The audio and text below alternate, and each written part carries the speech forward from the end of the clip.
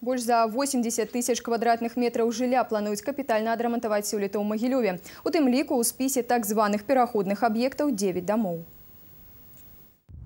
Частковы капрамонт з элементамі мадэрнізацыі будуць праводзіць у 15 дамах абласнога цэнтра. Маецца на ўвазе рамонт дахаў і сістэм пажарнай бяспекі. А вось поўны капрамонт, калі будуць замяняць балконы, інжынернай сеці, чакаецца ў 29 дамах Магілёва.